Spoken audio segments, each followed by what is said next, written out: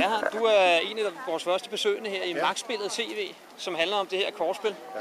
Om øh, politikere igennem 25 år i Danmark. Der er jo, jamen det er jo Svend Augen, og det må nok sige, det er jo en af de største og mest øh, og bedste politiske øh, mennesker, vi har haft i nyere tid.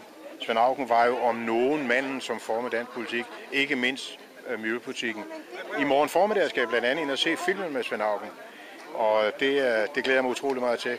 Svend Augen, da han afgik sammen med vores regering her først i 90'erne, der havde han en, en miljøpolitik, som var fuldstændig afstanding. Det har øh, den borgerlige regering benyttet 10 år til at ødelægge. Ærgerligt, men en god, fantastisk god Kan du lige vise ham til kameraet? Og... Svend Augen. Iført lang næse. Meget lang næse, Meget lang det? Næse. Ja, ja. Ja. Hvad synes du om næsen? Er den for stor, eller er den tilpas af gurkelængde?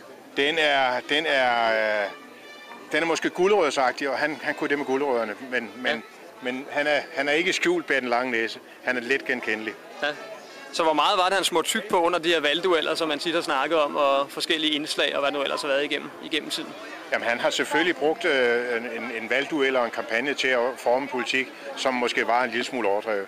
Men til gengæld så, så, har, så var han en af de politikere, som altid optrådte uden manuskript, for han sagde det på den måde, at, at en politiker, der skal læse hans tale op, talen op, mener det ikke rigtigt. Det er sjovt, det var Jeppe Kofod. Det er jo en af vores uh, coming man. Han, uh, han uh, er, ja, jeg synes jo, han er en fantastisk god politiker. Han havde jo sit lille udfald for et par år siden, og det har de fleste af os lykkeligt glemt. Uh, Gud ved, om ikke der er nogle vælgere, der også har. Han er jo vores mand på Bornholm, som helt sikkert kommer i ting igen. Mm. En god politiker. Mm. Og hvad med den der Lolita-duk, han har? Det er den øh, den rigtige farve, eller hvad synes du om den? Skulle den have været lidt, lidt, lidt yngre, eventuelt lidt mindre? Ja, jeg mener også, den, den, det skulle nok have været en yngre model. Men farven er, farven er angiveligvis rigtig. Uh, det var jo uh, formentlig den sidste, den sidste rigtige arbejder, der blev statsminister. Ja, Anker Jørgensen. Anker, Jørgensen, Anker Jørgensen, ja, undskyld, ja.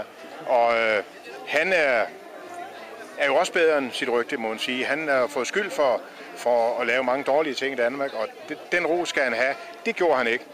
Men han overtog sig gengæld, en, eller han havde det i en vanskelig situation. Prøv at forestille dig, at vi fik en, en, en på puklen for en dårlig økonomi, men på det tidspunkt, han var, var statsminister, der steg blandt andet oliepriserne med 8-10 procent.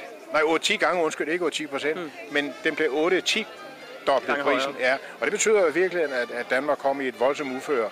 Ikke så meget på grund af hans politik, men, men om end så var han en statsminister for folket. Mm. Så øh, var han økonomisk ansvarlig? Det er jo altid det helt store spørgsmål. Det er jo det, som man kan sætte spørgsmålstegn ved, ikke? Ja, men det, det må man sige, det er han selvfølgelig. Han var minister, statsminister i den tid, og naturligvis er han ansvarlig for det. Men økonomien var, øh, var dårlig, men, men, men den kom jo altså også, der var nogle ting udefra, og det, det er bevisligt. Det er udefra, det, øh, det er han ikke styr på, eller det er han ikke, det vil ikke hans ansvar. Hmm. Og så kan man sige, udover at... Så stor kærlighed, men, men måske ja. en lille smule kompetence manglede på nogle punkter der. Jeg er ikke sikker på, at der manglede kompetence, men, men jeg er sikker på, at den tid, han reagerede, det var en vanskelig, en vanskelig tid. Og olieplætterne her, er de for store eller for små? Ja, de er nok i orden.